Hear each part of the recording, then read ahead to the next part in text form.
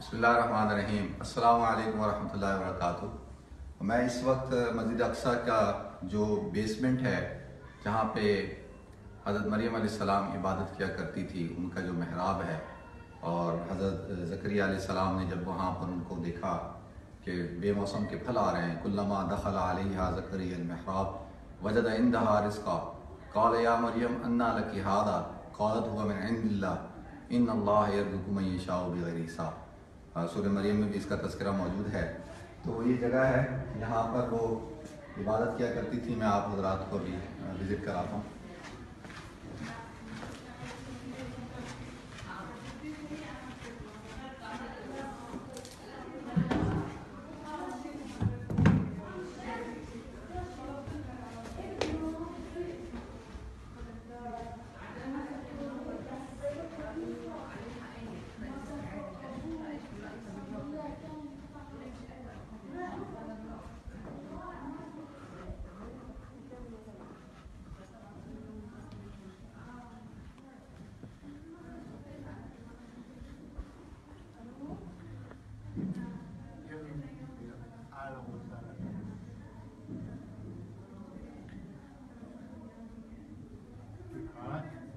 وعليكم السلام محراب مريم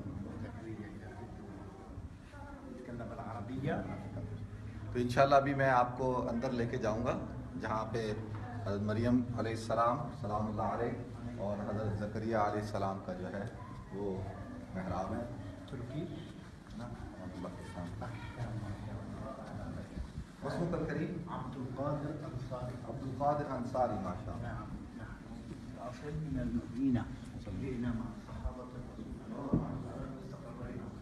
هنا كانوا يربطون الخيل. زمن الصليبيين.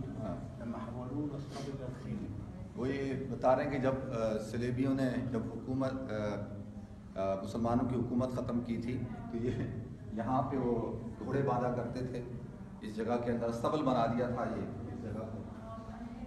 ذبحوا في هذا المكان سبعين ألف مسلم حولونا الصليب إلى الخيل 87 سنة. اس جگہ کے اوپر جو ہے وہ تقریباً ستر ہزار مسلمانوں کو جو ہے وہ شہید کیا گیا اور اس پوری جگہ کو استبل بنا دیا گیا۔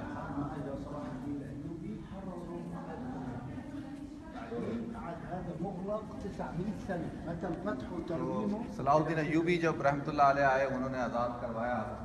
پھر اس کے بعد یہ تقریباً نو سو سال تک یہ بند رہی تھی۔ متى فتحه إلى بال 96 قبل 20 سنة على يد الشيخ وائل صلاح هذا زي ما انت شايف أكبر من الأقصى. هنا كل جمعة يكون 14000 مصلي. ماشاء اللہ یہ مسجد اقصیٰ کا جو مین جو ہے نا جہاں پہ نماز پڑھتے ہیں اس سے بڑی جگہ ہے اور چار ہزار کے قریب مسلمان یہاں نماز پڑھ سکتے ہیں ماشاء اللہ آپ دیکھیں پورا دکھائیں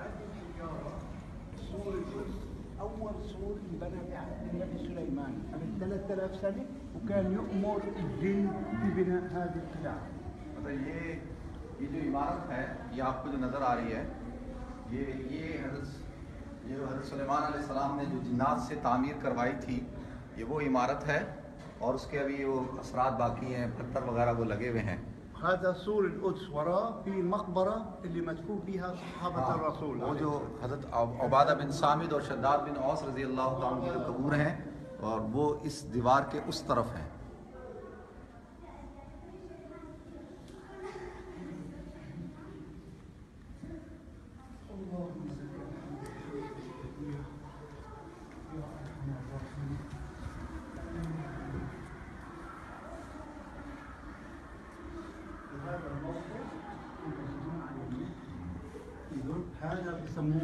محراب ادھر سے ادھر سے آ کے دکھائیں۔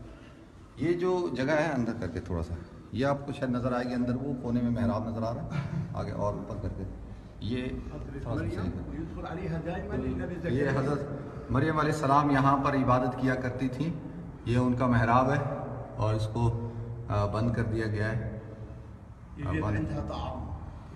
كلما لك دخل المحراب. وجد عندها رزقا. قال يا مريم لك هذا قالت هو من عند الله ان الله يرزق من يشاء بغیر حساب۔ اور پھر سورہ مریم کی ابتدائی آیات ہے نا، کافا یا عین صاد، ذکر رحمت ربک عبدہ زکریا۔ اذ نادى ربه نداء خفيا قال ربي اني وهن العظم مني واشتعل الراس شيبا ولم اكن بدعائك ربي شقيا واني خفت الموالي من ورائي وكانت امراتي عاقرا فهب لي من لدنك وليا يرثني ويرث من آل يعقوب تو حضرت زکریا علیہ السلام نے دعا مانگی کہ جیسے اللہ تعالیٰ حضرت مریم کو بے موسم کے پھل عطا کرتے ہیں۔ کہ اللہ، میں بھی بوڑھا ہو گیا ہوں، میری بیوی بھی بوڑھی ہو چکی ہے، تو آپ ہمیں اولاد عطا فرمائیں۔ یہ رسونی و یہ رسومین علی یعقوب، تو وہ میری اور آل یعقوب کی کا وارث ہوگا۔ تو اللہ تعالیٰ نے پھر ان کو حضرت یاہیا علیہ السلام عطا فرمائے۔ تو یہ وہ محراب ہے، بہت مبارک ہے۔ یہاں پر میں دعا مانگتا ہوں ان سب حضرات کے لیے، جن کو اللہ تعالیٰ ان کو اولاد صالحہ عطا فرمائے، اولاد نرینہ عطا فرمائے، جو بے اولاد لوگ ہیں۔ جیسے اللہ تعالیٰ نے حضرت مریم کو بغیر حضرت عیسیٰ کو بغیر والد کے پیدا فرمایا اور حضرت زکریہ علیہ السلام کو اللہ تعالیٰ نے بڑی عمر میں اولاد عطا فرمائی، تو میری دعا ہے اللہ تعالیٰ جتنے بے اولاد جوڑے ہیں، ان سب کو اولاد صالح